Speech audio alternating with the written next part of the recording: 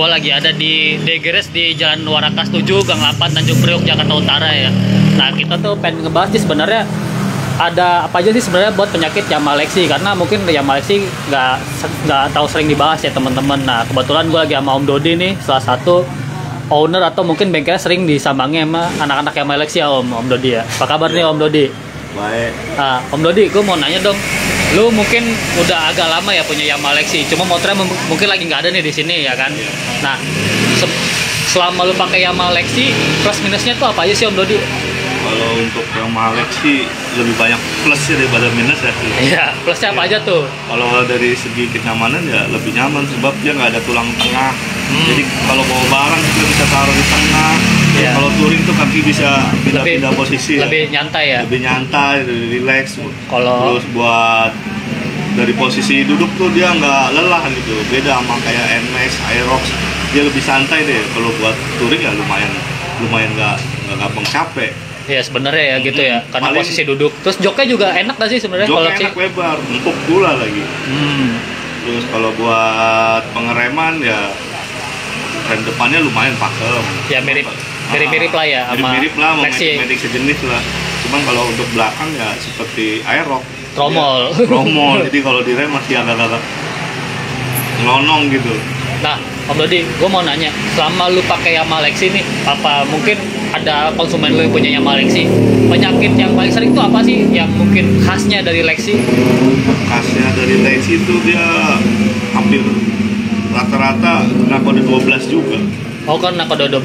Iya, rata-rata produknya Yamaha dari awal Lexi masih ada yang kena kode 12. Kode 12 tuh dia pertama muncul dari Speedo kan ya? Iya, di speedometer itu nongol. Biasanya kalau buat uh, kabelnya belum angus-angus banget, soket-soketnya belum kebakar, itu masih bisa jalan tuh motor. Cuman emang udah terganggu. Tarikannya rada nggak enak, rada berat. Tapi kalau kode 12 itu sampai mati total nggak sih motor? Ada yang sampai mati total. Biasanya kalau yang soketnya udah terbakar sampai ke arah spool, Oh, itu kalau itu berarti putus ya berarti ya? putus mati.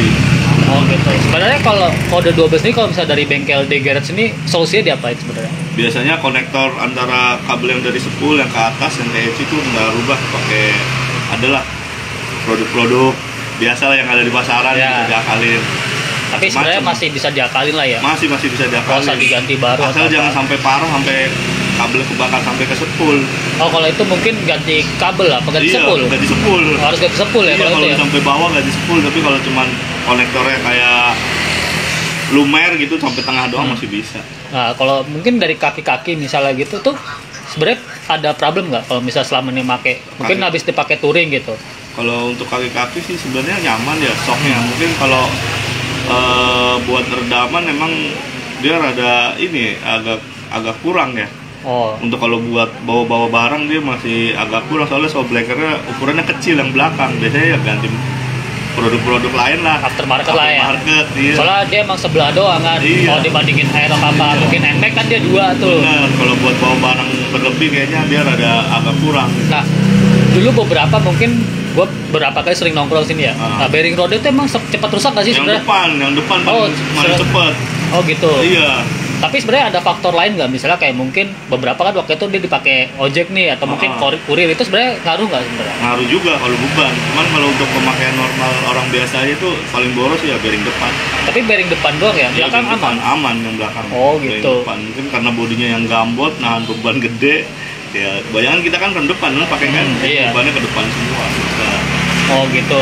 Nah kalau upgrade singkatnya apa? Upgrade ringan ya mungkin kalau mungkin dari area CVT Lex itu mungkin gampangnya diapain Om Dodi? Ganti roller kah atau mungkin ganti versi CVT kah? Biar lebih enak mungkin paling tarikannya paling enak kalau buat standar terus bisa agak lebih paling dia pakai upgrade ke Nmax 2 DP apanya tuh Eh, dari Pulinya, oh, puli setnya ya? rumah roller kipasnya Hmm. sampai kampas gandanya sampai ke mangkoknya itu pakai Nmax oh itu jadi bisa ganti semua ya? Emang Plug beda ya sebenarnya? Beda ya? Beda. Kalau dari kampasnya pun lebih panjang kalau punya Nmax dia sama lebar. Oh tapi kalau sama Aerox juga Aerox berarti samanya kayak NMAX ah, enggak. Aerox sama Lexi hampir mirip. Oh hampir mirip Iya. tapi nggak sama juga. Yang paling banyak di upgrade sini standaran daripada beli variasi ini ganti 2 DP oh ganti NMAX aja semua. Ganti Nmax 2 DP itu NMAX yang baru yang NMAX apa sih? old. oh NMAX iya kalau yang Nmax baru itu hampir mirip ke Aerox oh Iya. lebih enak pakai yang lama berarti Iya, pakai dua DP aja kalau depannya. berarti semuanya tuh ya kalau Uh, roller kan ukuran standarnya berapa sih biasanya kalau udah pakai NMAX itu pakai roller standarnya Lexi aja masih enak. hmm, Mm-mm. standarnya berapa ya ukurannya 11 Lexi. oh udah kecil ya sebenarnya Iya, udah enak, gak usah diturunin lagi, kita teriak doang gitu. Iya kan dulu kalau yang NMAX kan malah diganti ke Xeon kan Iya. 10 Uh-uh. berarti kalau 11 saya udah enak gak Udah usah ke enak, 10 berarti ya usah. Nah Iya. kalau Persivity juga biarin aja standar aja. oh tapi itu kalau emang spek mesinnya standar lah ya Iya, buat harian lah udah enak banget lah. Tapi kalau misalnya mau upgrade gitu mesin nih ya, Heeh. kita ngomongin bore up kan emang sering ya karena dibilang seleksi ini nanggung motornya Iya, kan. kentang lah. Iya, itu sebenarnya pakai NMAX aja cukup atau mungkin pakai aftermarket itu lebih maksimal sebenarnya. Lebih hemat sih pakai NMAX. Iya paling gampang lah Iya, ya. aman sejahtera udah. Yang penting nggak usah diubah-ubah lagi iya, lah ya. bloknya pakai NMAX, pistonnya pakai R15. Ya, itu udah paling Udah paketan paketan jos lah. Iya, udah hemat murah meriah lah. Ya itu paling pengul apa keluarnya juga paling sejutaan udah Iya sih, jadi. lebih dikit lah, Iya, udah aman jadi. udah setel-setel ecu. Iya. Cukup lah. udah cukup lah ya segala Iya. macam terus ya kayak gantikan output mungkin opsional lah ya Iya. gitu gitu jadi emang sebenarnya teman-teman kalau emang pengen punya Lexi tapi agak ragu sebenarnya sebenarnya itu motor Enak. emang ya enak ya cuma Iya. emang sebenarnya agak jarang ya Colok pakai banda-banda Yamaha lainnya masih masuk. iya sebenarnya tuh tapi emang kalau gua lihat emang dibanding NMAX Aerox segala macam emang kayak lebih jarang sih om Iya. Sorry. Kalau lu kan emang aktif di komunitasnya juga gitu kan, jadi mungkin lebih paham. Jadi teman-teman kalau misalnya ada yang mau konsul nih, mungkin di rumah di Jakarta Utara atau di Jakarta Pusat mungkin bisa mampir nih ke bengkel Om Dodi di jalan apa nih Om? Jalan Warakas 7 nomor 4 gang 8. Gang 8. Dulu nih kalau namanya tuh Dits Ditsmatic Motor, gitu. iya. Dulu udah buka dari tahun berapa ya? 98. Oh, dari dari zaman Krismon udah buka sebenarnya. Cuma mainnya ganti-ganti mulu nih gitu teman-teman. Oke Om Dodi, kan Yo. sekian kita kapan-kapan ngobrol lagi Siap. atau mungkin kita bahas langsung di video yang lebih lengkap Makasih. gitu ya. Thank you Om Dodi.